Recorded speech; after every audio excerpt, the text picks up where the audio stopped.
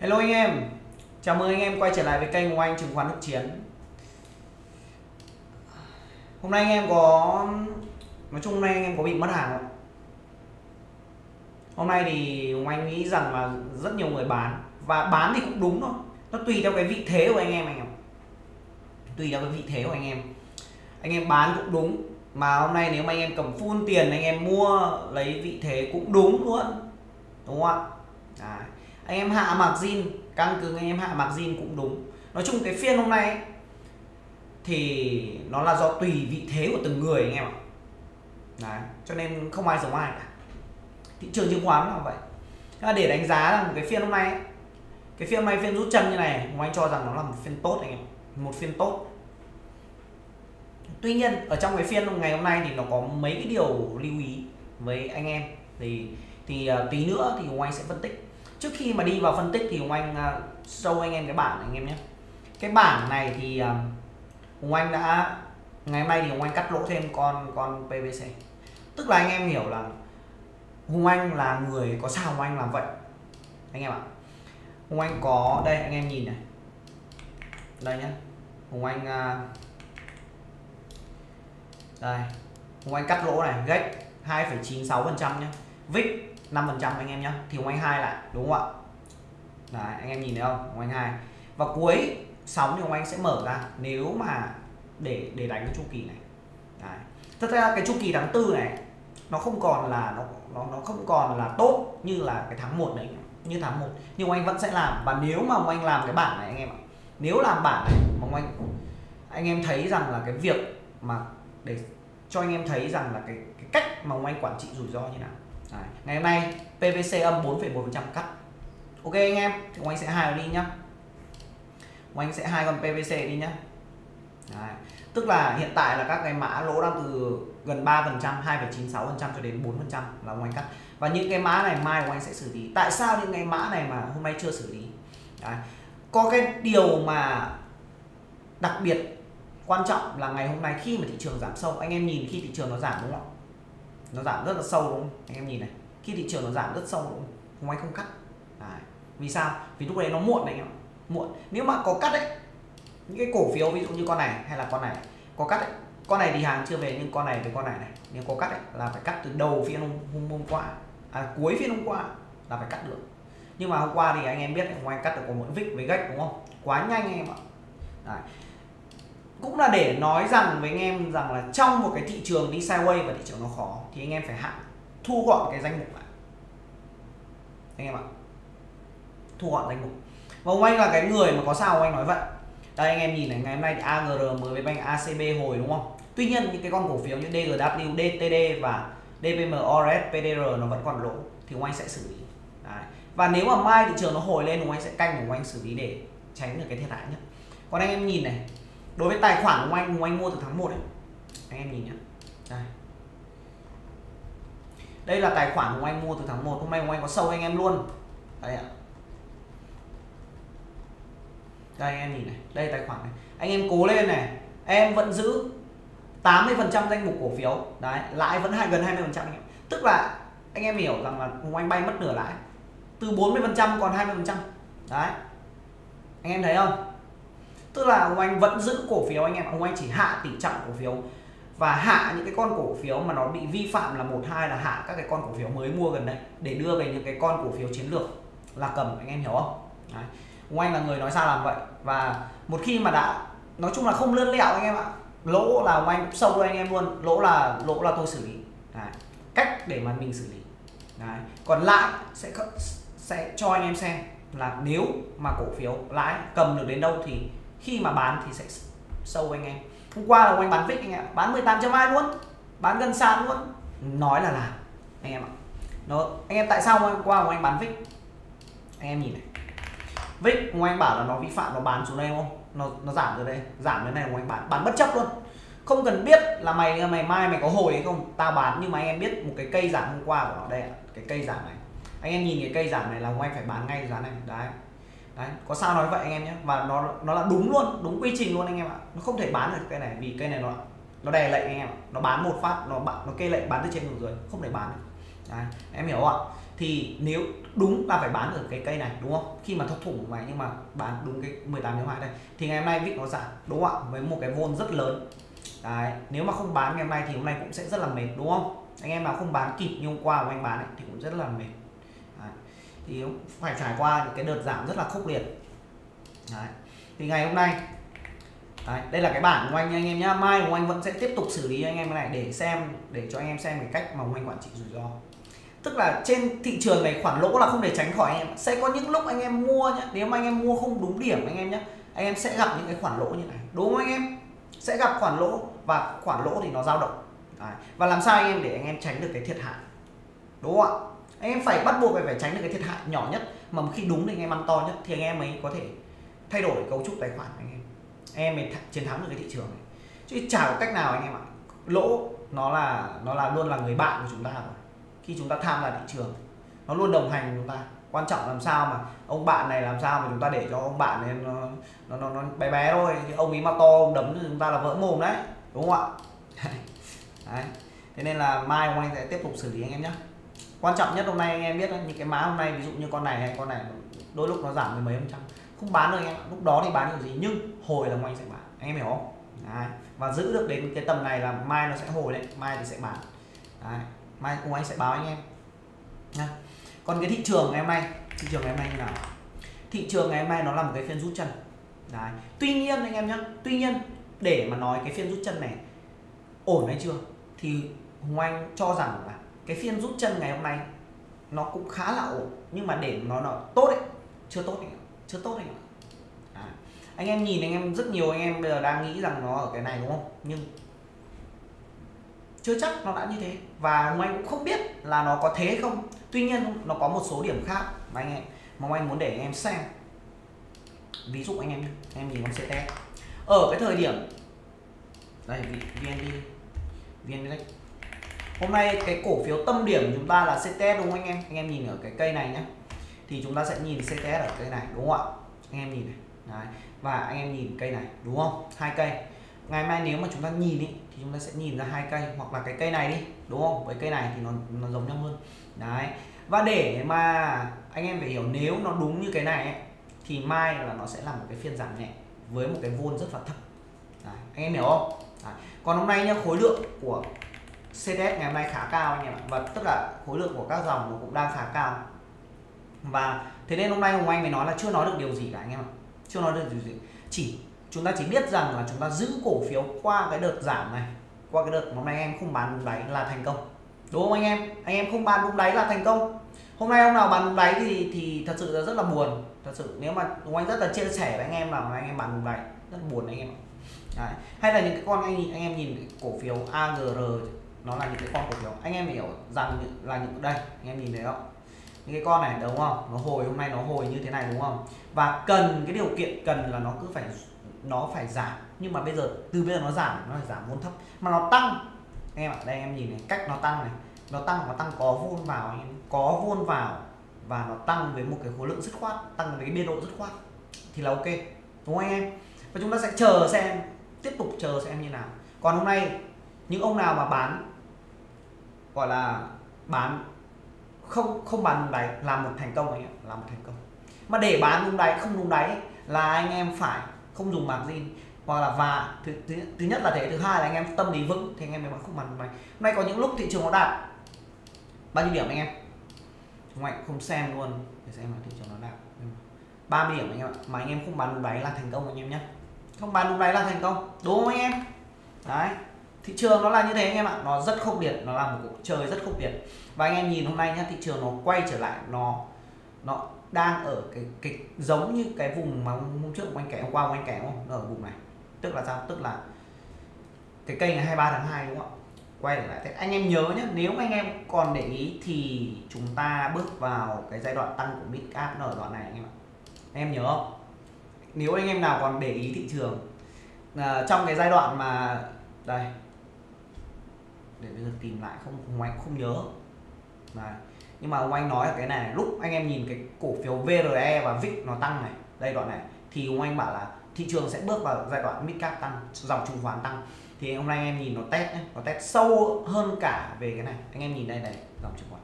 Ông anh vẫn nhớ này sao mà quên được? Đây, ví dụ là vn index nhá.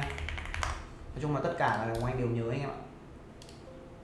Đây, từ cây này nhá ngoài Anh biết là VRL tăng. Anh em thấy không ạ? Biết là VIX có tăng. Đấy thấy không? Và anh em nhìn nhé, CTS đây ở đâu? Đây FTS trước xin lỗi. Đây anh em nhìn này bắt đầu nó tăng đúng không ạ? Điện ai? Bắt đầu tăng. Đấy. nó đã tăng một nhịp rồi và nó sẽ tăng tiếp. Đấy anh em hiểu không? AGR này. Đấy. bắt đầu. Nó bước vào dòng. Đây anh em nhìn đúng không ạ? Sau đó thì bắt đầu bước vào dòng chứng khoán tăng. Tức là để nói rằng là hôm nay ấy, thì là nó đã lấp lại tất cả những cái gì mà Mika nó tăng trước đó. Đúng không anh em? Đúng không ạ? Đấy. Nó nó có cái hay ở chỗ đó. Đấy. và điều kiện tiên quyết để thị trường cân bằng bây giờ đó là gì? Thị trường này chưa cân bằng đâu anh em nhé. Chưa thể cân bằng được. Đây, anh em nhìn anh? Bảo anh em này. Đây. hôm qua anh có viết này. Này sau cây giảm này tức là sau cái cây cây cây này, anh em này thì thị trường cần 3 đến 5 phiên thậm chí 1 đến 2 tuần có thể cân bằng trở lại được. Đấy áp cho nhịp giảm này chuẩn bị cho sắm cuối năm. Thì ở đây Hồng Anh cho vẫn vẫn quan điểm cũ anh em nhé vẫn quan điểm cũ anh em. Đó là một là thị trường sideways nó là một cái biên sideways rất lớn anh em ạ. Nó sẽ là một cái biên sideways tăng này và sau đó giảm. Và nó tạo thành một cái biên đúng không ạ? Đấy. và ông anh cho rằng từ bây giờ đến tháng 7 vẫn sẽ còn một nhịp tăng nữa vẫn sẽ còn bị tăng. Và anh em biết dòng nào là dòng dẫn dắt để mà làm được này thì vẫn là dòng chứng khoán và dòng banh, anh em ạ. Anh em nhìn cái dòng chứng khoán và dòng banh hôm qua và hôm nay anh em thấy đúng không ạ? Đúng không ạ? Đấy, dòng chứng khoán và dòng banh. Tuy nhiên, để đẩy chỉ số lên ấy, để mà FOMO ấy, thì nó chỉ có dòng chứng khoán và dòng banh anh em nó không còn dòng nào khác, chỉ có dòng banh nó mới đẩy được chỉ số lên. Dòng chứng khoán tăng có tăng nhiều, nó cũng không đẩy được chỉ số lên đâu anh em ạ. Đúng không ạ? Đấy. Thì nên là đoạn này anh em nhìn hôm nay ông anh có nói với anh em rằng là đây này. Đây hôm qua hôm qua ông anh bảo át cầm vix lãi 24% nay bán 18.2 hôm qua ấy là bán 18.2 lại 6% đấy FTS VCI DGC còn nguyên thì hôm nay anh em nhìn con DGC nó còn rất khỏe đúng không? Đấy, anh em nhìn này. Đây sáng nay anh em nhìn này PVC này đây 9 giờ 05 lúc mà nó 15.1 15.2 là bảo anh em hạ. Đấy đây, đoạn này ai dùng mặc zin thì tranh thủ hồi đấy buổi sáng anh em nhìn này buổi sáng thì ông anh bảo là phải anh em phải hộ phải tranh thủ được hạ ra. Còn chiều ấy, lúc chiều anh em phải giữ qua chỉnh luôn. Đấy. Đấy, dòng banh này anh em nhìn này dòng banh tương đối ổn. Ở đâu đây. Đấy. Đại, đại khái là anh em sẽ nhìn thấy cái thị trường là banh nó rất khỏe. Nếu mà hôm nay mà banh mà gãy thì không biết là thị trường đi đâu nhưng mà cái khả năng banh gãy ông anh cho rằng nó nó thấp anh em nó thấp những cái con mà như kiểu anh em nhìn ạ CTG nó giảm như này mà nó gãy khó em hôm nay nó nó sẽ nó nhưng mà những cái con này anh em nó sẽ cất nó sẽ lằng nhà lằng nhằng em MB Bank này nó sẽ lằng nhà lằng nhằng một thời gian này một thời gian này rất lâu đấy. Nhìn này thôi chưa tăng đâu anh em nhé chưa tăng đâu nhìn thế đâu nhìn cái cách nó đánh thế thôi. Đấy, hôm nay buôn vào rất ok. Thì dòng tiền bây giờ có thể dòng tiền nó sẽ xoay sang anh em biết không? Xoay sang banh và xoay sang trứng. Trứng anh em nhìn cái cổ phiếu bất động sản này, nó yếu hơn so với thị trường anh em nhé nó đây thể hiện là gì anh em? Nó làm pha bull chart. Nó kéo lên và nó bull xuống. Anh em nhìn PDR thế này đấy ạ, về nền luôn. Ai nghĩ rằng nó sẽ tăng tiếp không? Nó đánh cho về nền luôn. Đất xanh cũng thế anh em ạ. Về nền dưới luôn. Kinh không anh em? Đánh quá kinh dị luôn. Đúng, và cũng đúng thôi. Vì tháng tư này, bất động sản nó không có câu chuyện để kể bất động sản tháng tư nó không có câu chuyện để kể, đúng không? Nó phải là tháng 7 nó phải là cuối năm anh em ạ. Nó phải là tháng 7 đến tháng 10 nó phải là câu chuyện của cuối năm. Và ngoài nghĩ rằng cái cuối năm này vẫn sẽ là câu chuyện bất động sản. Anh em nghĩ rằng nhé nó vẫn phù hợp với cái kịch bản. Cùng anh đưa ra là nó đi sideways đúng không anh em? Vẫn phù hợp với kịch bản là đi sideways. Đúng không ạ? Đây. Mặc dù thị trường giảm nếu mà thị trường tăng do banh banh còn chạy, thì thị trường giảm sẽ là do banh. Còn bất động sản nó gần như nó không ảnh hưởng gì đến chỉ số chung.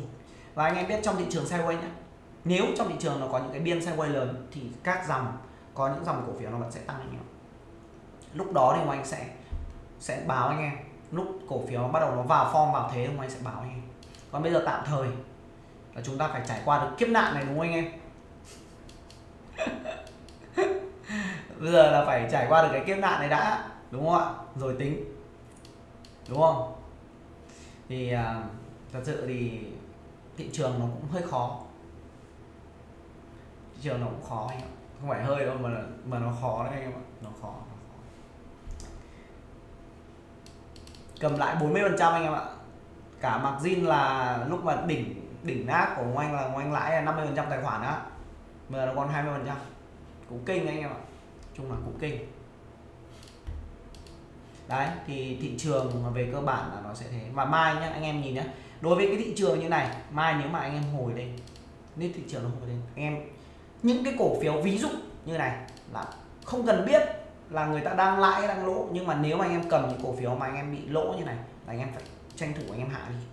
Anh em hạ, anh em cầm tiền mặt đi và chờ thị trường cân bằng vì anh em hiểu rằng là khi thị trường nó kéo lên ấy, nó sẽ có những cái nhịp quay trở lại để test anh em nó chưa ổn đâu, anh em nhìn đây này, nó sẽ có những cái nhịp cân bằng, nó phải cân bằng. Và lúc cân bằng xong ấy, nếu mà nó đánh thốc như này thì coi như xác định là cũng phải chia tay đây anh em coi như không ăn được. Tại vì sao? Tại vì mình mua mình thua lỗ hay không? Ai nói trước được cái điều gì khi mà chúng ta đang lỗ cả.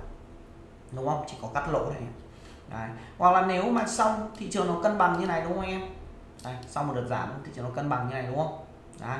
xong rồi đi lên từ từ từ từ từ từ từ từ, từ mà nó không tăng sốc tăng thốc ấy, thì nó lại là ổn. Nhưng mà anh cho rằng cái bối cảnh này nó hơi khó. Chung là phải để xem để xem tiếp anh em ạ. Bây giờ là khá là khó đấy khá là khó thị trường ngày mai thì ngoan cho rằng là nó sẽ hồi tiếp. Nhưng mà hồi lên là để bán anh em nhé hồi lên là để những cái vị thế nào anh em không đang lỗ anh em bán. Anh em nên bán. Còn ông anh đã nói rồi ông anh cầm FT anh em ạ. Lúc nào mà, đấy, hôm nay bắt buộc nó phải hồi đúng không?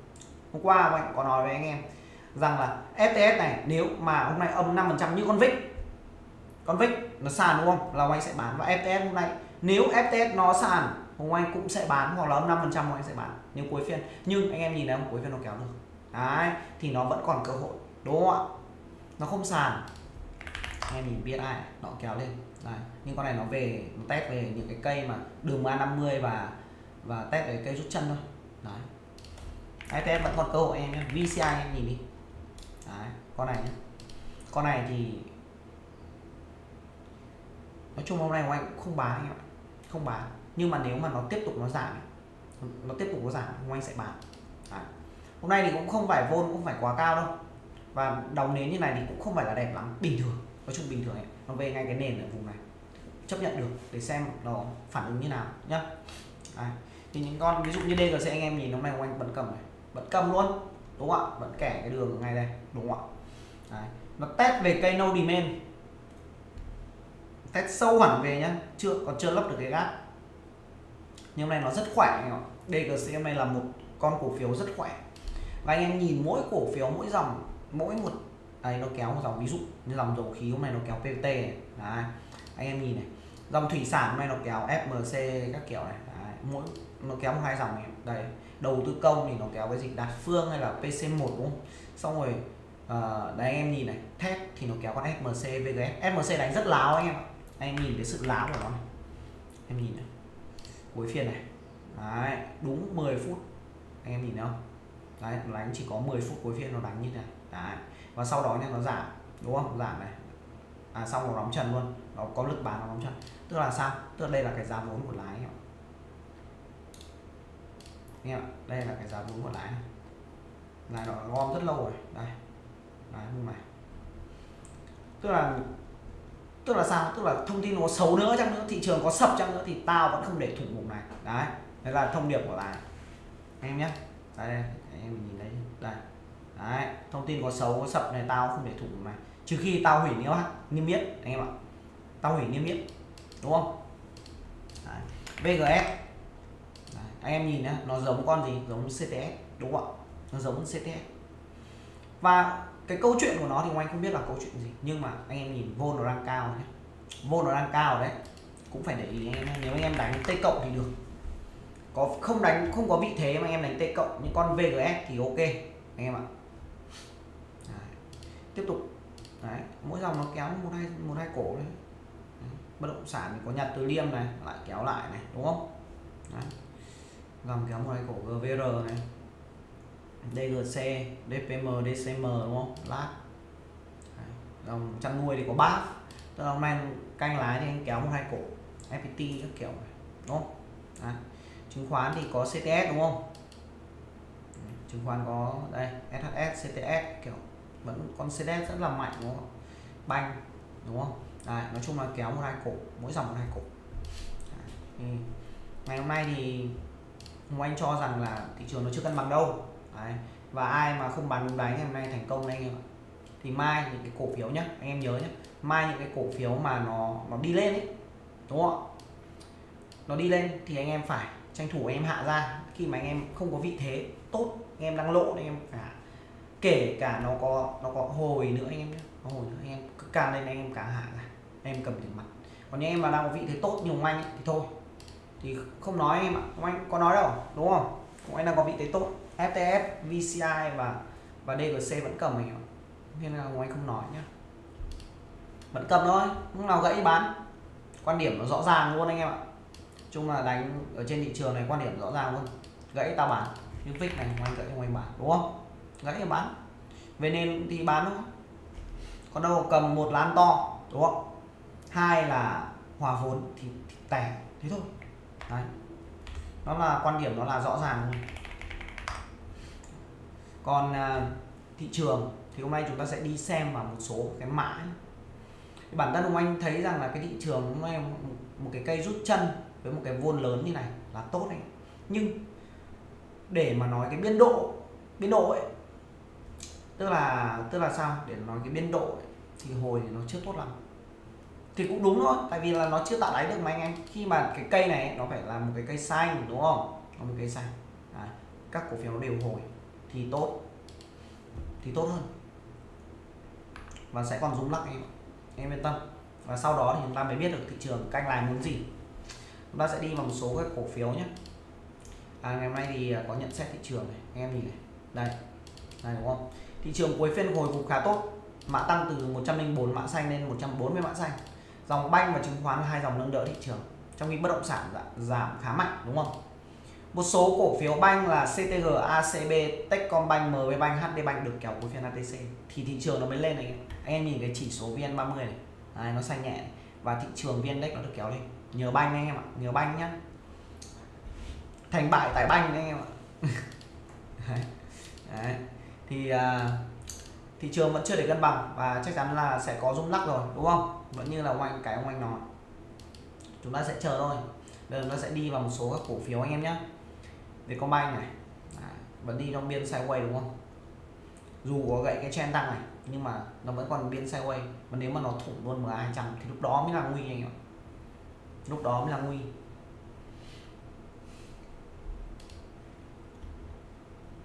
Bit sau cây giảm đúng không? Hôm nay hồi phục khá tốt. Đấy anh em thấy không? Bit để mà nó nó gãy cái chân tăng này, đấy đúng không? Thì nó gãy rồi đúng không? Nhưng gãy trên tăng vì nó tăng dốc như này gãy trên tăng nó là chưa đủ nó phải gãy luôn cả cái cái nền lớn của nó ở trên này. Thì nó mới là đủ anh em ạ nó mới là đủ nhá. CTG hồi phục được rút chân hồi phục được. Được anh em nhé Đấy, Techcombank này anh em nhìn thấy tất cả cổ phiếu đều đang hồi phục. Mười anh rất đẹp rất đẹp anh em nhé thật sự là những anh em mà mua ở dưới này mà bán ở đây thì, thì nói chung là nó phí nó phí. Thật sự là thế. Và ông anh cho rằng này banh tiếp tục sẽ kéo thị trường nó còn một nhịp nữa nó còn một nhịp nữa nhé để nó đẩy thị trường lên và sau đó dòng chứng khoán nó sẽ tiếp tục được kéo và sau đó nó mới chết. Và lúc đó dòng chứng khoán chỉnh và dòng banh chỉnh lúc đó mới là về cái nhịp chỉnh chính của thị trường. À lúc đó mới là nhịp sập. Giờ chưa sập được. Hùng Anh vẫn quan điểm quan điểm vẫn quan điểm cũ vẫn chưa sập được. Nhưng đoạn này là phải đánh cẩn thận. Đúng không anh em? Thế nên Hùng Anh mới hạ hạ margin và cầm 80 phần trăm cổ phiếu.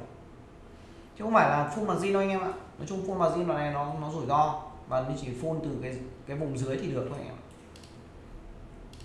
ông nào cầm được full margin là cũng kinh đấy.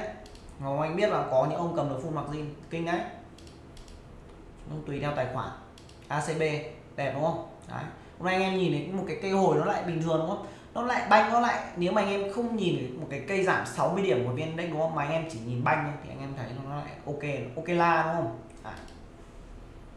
sổ, cũng kinh đấy, đúng không? VIP yếu, bây giờ STB anh em này, đấy, nó ăn thông tin, chết anh em, không hồi được. HD Bank bỏ cùng thôi, bỏ SHB mà. Ai giảm được. Những con này nếu mà thị trường ổn có khi loại tăng tiếp đấy. LB Bank từ hồi anh Thụy chuyển sang là đánh khách hẳn đúng không anh em? Được. Nói chung là những cái con mà anh em mua banh ấy, nếu mà anh em để banh ấy, thì nó chỉ còn ACB này, MB banh này. Techcom thì thôi nên nó vẫn ngắn. CTG anh em ạ. Và anh em thích em lấy bit bốn con này thôi. Chung mà bây giờ chỉ còn bốn con đấy thôi anh em ạ. Dòng banh nó cũng sẽ phân hóa anh em nha. Anh em nhìn MSB này, thủng M200 phân hóa anh em ạ. TV banh anh em nhìn nó phân hóa đấy chứ không phải không đâu nhá.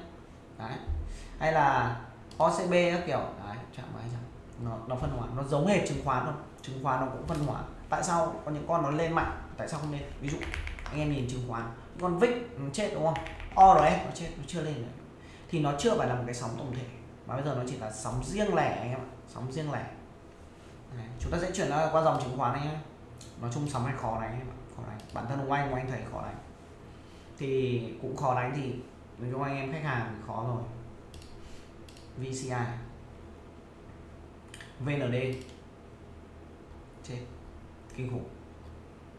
Đen. Nói chung con anh em là cầm về đen. Không ăn uống được gì mà còn đứt, đúng không anh em? Mua. Anh em anh em mua thì nay anh em cũng cắt lỗ nhanh, đúng không? Nó giảm cho mười mấy phần trăm. Đứt. Chung mà lại. Năm nay chia buồn với cổ đông của VND anh em nhá. HCM cũng ghê gớm ấy. Giảm. Đấy, hôm nay mà anh em không bán được đáy này cũng thành công. Thì mai chờ hồi thì những anh em vào lỗ thì anh em bán đúng không? SHS về MA50 được. CTS rất khỏe rất khỏe. Đấy, những cái con như kiểu CTS này thì cái đặc điểm hôm nay anh em ạ nó là gì? Nó là vôn lớn đúng không anh em? Nó là vôn lớn. Anh em nhìn thấy sự lớn vôn của nó chưa? Đấy, và và là gì? Và nến dao động. Cái cần bây giờ ấy để mà nó tăng tiếp ấy, nó phải siết lại nó, anh em hiểu không? Nó phải siết lại phần phía sau. Nó phải siết lại phần phía sau. Đấy. đấy.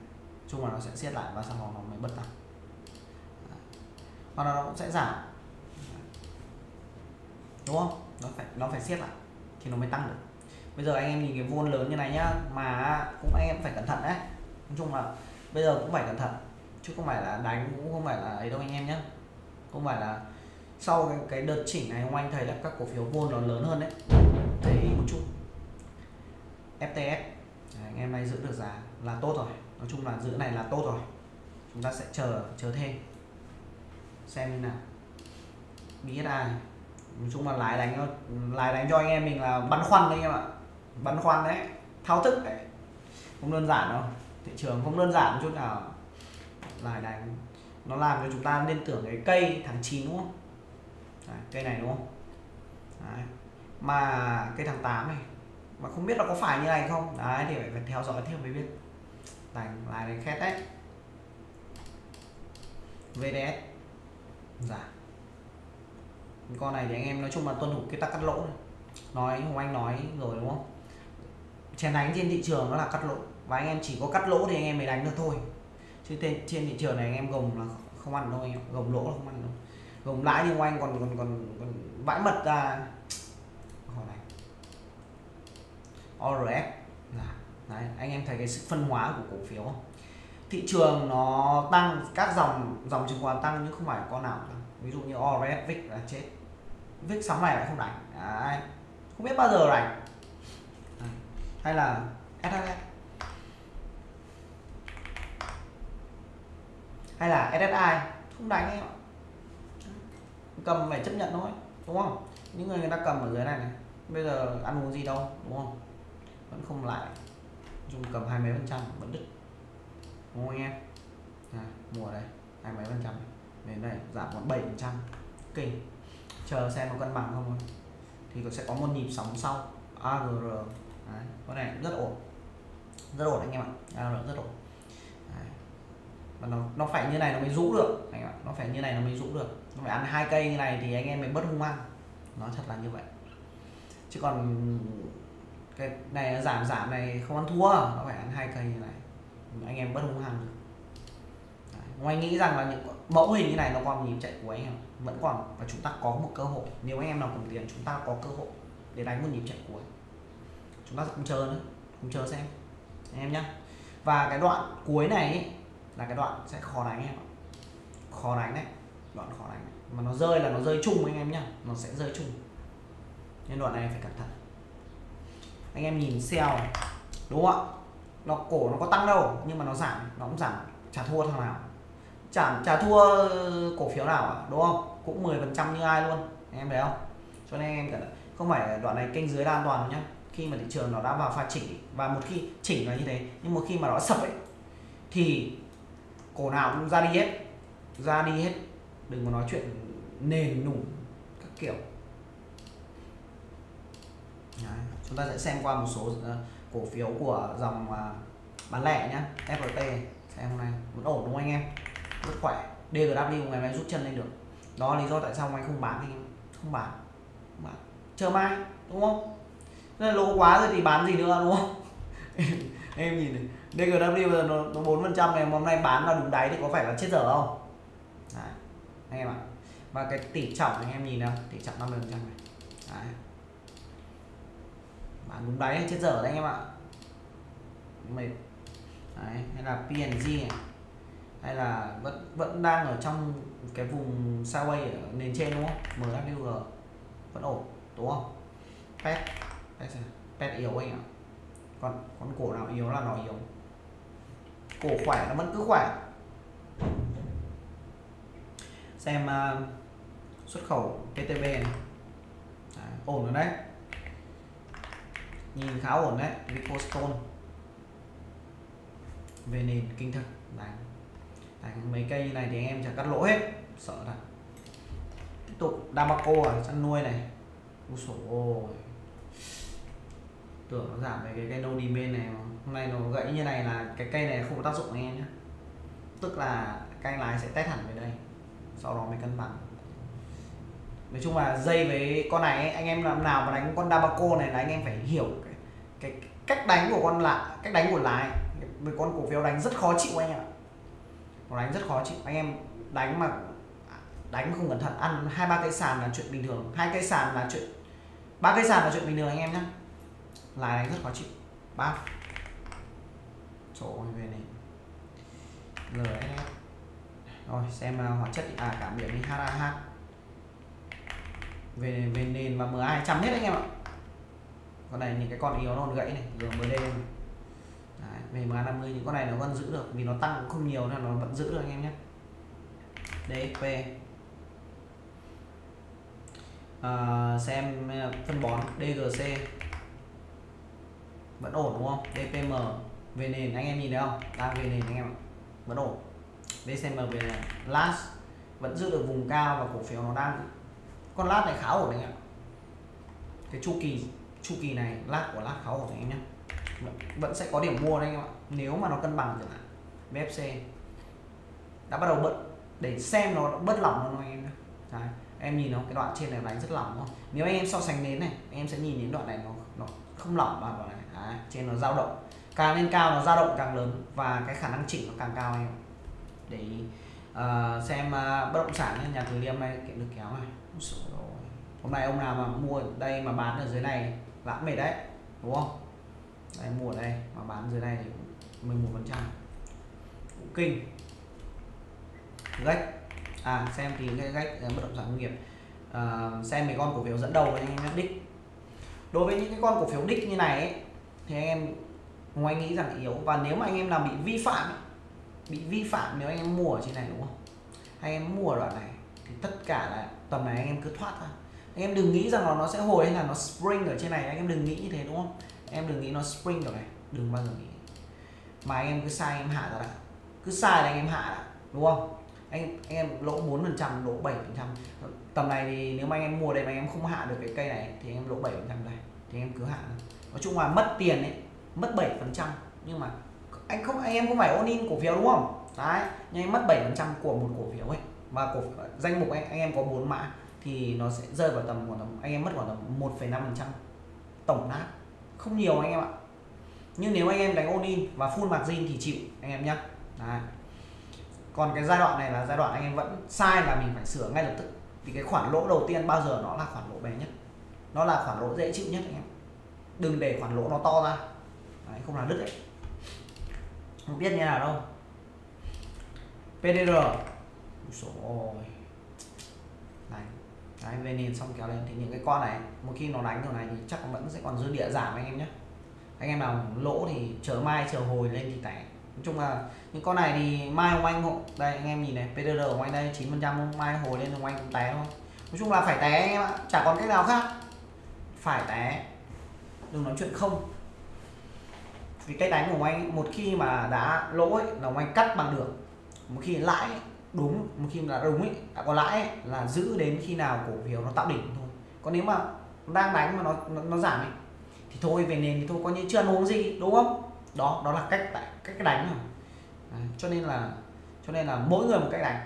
Và làm sao mà anh em thành công trên thị trường. Anh em đánh swing cũng được anh em đánh t cũng được anh đánh anh em đánh chen cũng được miễn là anh em kiếm được tiền trên thị trường là cách của anh em đúng. Đấy. và một thị trường khó khăn như này, thì anh em đánh swing nếu anh em đánh được thì là ngon. Nhưng mà thử hỏi rằng trong một tháng vừa qua, anh em đánh swing và anh em nào ăn được không? Hay là có những anh em bị mua cây này hay mua hẳn cây này luôn và hàng đang lỗ? Này, khó lắm anh em ạ. Không dễ đâu. Đấy. tiếp tục con nào nhỉ? Đang nói PR đúng không?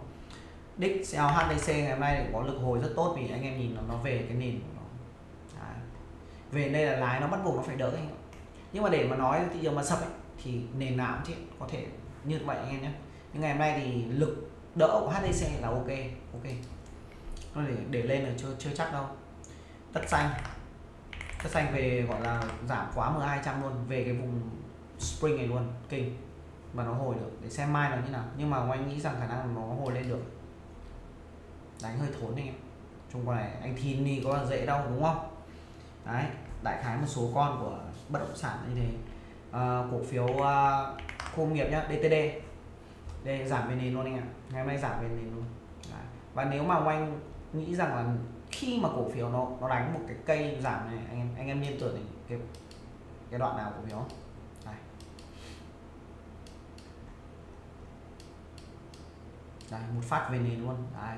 em nhìn này khi mà cổ phiếu nó về nền đúng không đúng không? Thì nó sẽ phải cân bằng nó cân bằng xong rồi nó sẽ hướng lên. Và lúc đó, nếu mà nó hướng lên được thì anh em anh em xử lý. Đấy. em nhìn thấy nó giống không ạ? Nó giống không? Đấy. cổ phiếu này, gãy, đúng không? Gãy xong nó hướng lên. Đấy. thì bây giờ phải chờ thôi, phải chờ thôi. Đấy. và cổ phiếu nó có thể nó sẽ như này.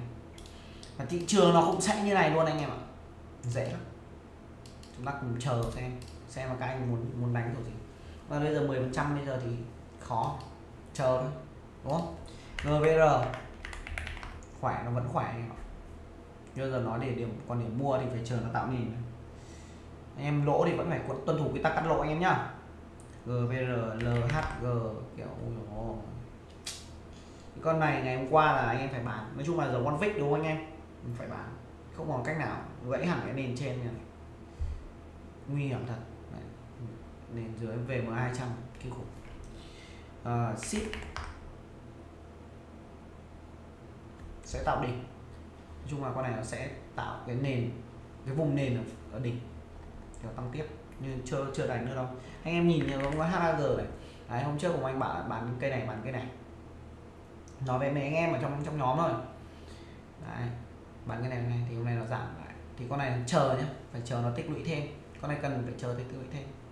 Nó cần phải tích lũy thêm này thì chúng ta mới vào được. Gách ôi anh mượt ơi là anh mượt. Ôi. anh em nhớ không? Ngoài cắt lỗ cây nào không? Cắt lỗ cây này anh em ạ. Cắt lỗ cái này đúng không ạ? Đây khoảng tầm ờ, ba phần trăm hai phần trăm ngoài cắt ở đây đúng không ạ? Và anh em nhìn nó rơi đi.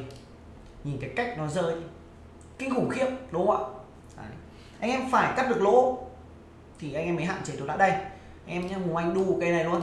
Đu ngay ở đoạn này luôn cho nó mát. Đấy. Nhiều anh em nhiều anh bảo mua ở dưới này nhưng mà anh ấy nếu anh cứ phải cổ phiếu nó có trên tăng của anh mới vào. Đấy. thì anh em nhìn cách quản trị rủi ro có lúc gách lại 6 phần trăm. Nhưng khi mà nó gãy trên ấy, là bắt buộc phải bán. Lỗ nhẹ đấy, lỗ nhẹ. Và cái cây này ấy, thì đang mong mong là nó hồi nó lại giảm tiếp. Vậy anh em nếu ấy, nếu mà trong trường hợp mà ông anh không bán đúng không? Anh em biết rồi ngày hôm nay ông anh lỗ bao nhiêu trăm lỗ 15 phần trăm thậm chí có những lúc nó là bao nhiêu? Nó là 15 18 trăm. Và những cái lúc như thế này ấy, lúc mà anh không cắt lỗ ấy, coi như là xong.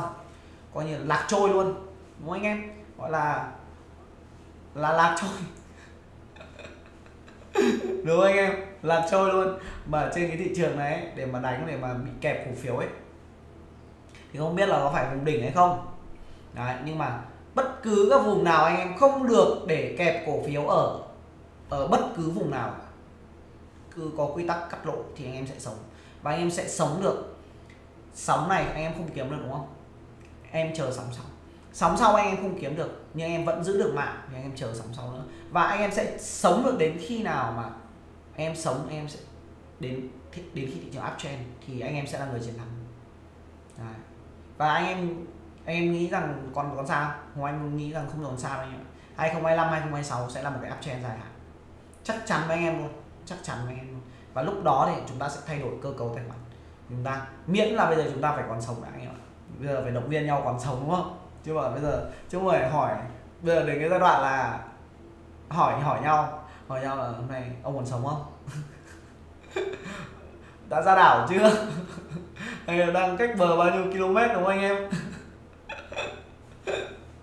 Đấy, chứ không phải là đoạn này, chứ không phải là hôm nay ông lãi được bao nhiêu phần trăm hay là ông lãi được ờ, bao nhiêu tỷ trọng bao nhiêu rồi? Năm nay có nhân 2 nhân 3 được không? Thị trường đánh sợ thật. Đánh ghê đấy. Đúng không? Đấy. Hết cho anh em nhỉ? VGC đúng không? Dạ. Dùng. Kinh không cắt lỗ là, là đứt anh em. Về nền này mà không cắt lỗ này tưởng là nó hồi. Là đấy, hết rồi anh em. Hết đúng không? PLC này. KSB HHV anh em nhìn những cái dòng cổ phiếu nó lên thì nó không lên được mà nó, nó giảm nó giảm kinh không anh em. À, em nghĩ rằng là anh em nghĩ rằng là những cái cổ mà nó chưa lại tăng đúng không? Nó giảm đúng không? À, nó, nó, nó thị trường giảm nó sẽ không giảm nhưng không anh em, em nhìn này. Anh em cầm cả 4 năm tháng rồi không ăn uống được gì mà cùng nó giảm. Anh em vẫn âm như thường. Đấy. đó là quy tắc cắt lỗ anh em. Chỉ có quy tắc cắt lỗ anh em mới sống được không nhá chỉ có đánh cổ phiếu tăng thôi. Cổ phiếu không tăng không đánh. Thà mình cắt lỗ trong cái quá trình đường lên cổ phiếu còn hơn. Là mình cầm khi cổ phiếu nó giảm sàn. Đúng không? Tiếp tục. Hết rồi. À, thủy sản ANV quá dã man đánh về nền luôn. Đánh qua đánh về nền luôn anh em. Dã man luôn. Chịu.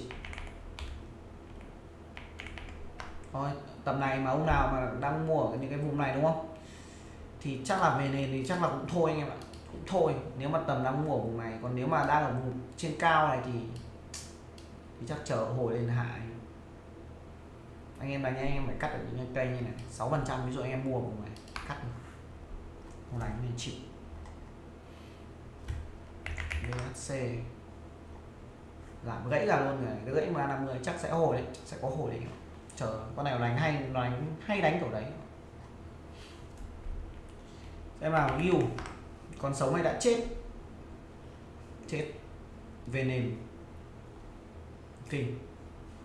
Giảm mạnh. MSH đấy, nói chung là thị trường nó như thế đấy anh em. Dòng dầu ngày hôm nay còn cho thấy là sức khỏe. Còn khỏe, nhưng mà nó cũng đang sideways anh em ạ. Đấy. đấy. Anh em nhá thì tổng kết lại. Video 43 phút. Tổng kết lại là mai nếu mà thị trường hồi lên thì những cái vị thế của anh em những ngày hôm nay chúc mừng anh em nào? Là đã không bán ở này đúng không? Còn anh em mà cầm được tiền mà anh em mua được vị thế ngày hôm nay ấy, thì cũng là quá giỏi. Nói thật là cũng quá giỏi luôn. Hơn của luôn anh em ạ. Hơn của luôn. Anh em tránh cái nhịp giảm này nó hơn của rồi. Của vẫn còn Ờ, tám mươi phần trăm cổ phiếu còn lãi hai phần trăm tài khoản anh em ạ. Đấy. nói chung là như thế. Thì anh em anh em tránh được cái nhịp này là giỏi. Anh em nhá giỏi công nhận là giỏi. Không anh không tránh được không anh bảo em ngồng Đấy. thì nếu mà mai mà thị trường nó hồi lên thì những cái mã mà cổ phiếu lỗ anh em lỗ thì anh em hạ bớt thôi, và chờ nó cân bằng lại và nó sẽ có những cái dấu hiệu để cân bằng thì để về sau anh em tham gia lại. Còn đoạn này anh em phải nghĩ đến quản trị rủi ro thay vì là anh em thả trôi tài khoản đừng bao giờ anh em thả trôi tài khoản nhé đừng bao giờ thả trôi tài khoản Đấy. ok thì anh em là muốn vào room ấy thì uh, liên hệ số điện thoại 094 935 998 hoặc là inbox Zalo cho Hùng Anh nha. Ok, xin chào và hẹn gặp lại anh em ở các video tiếp theo.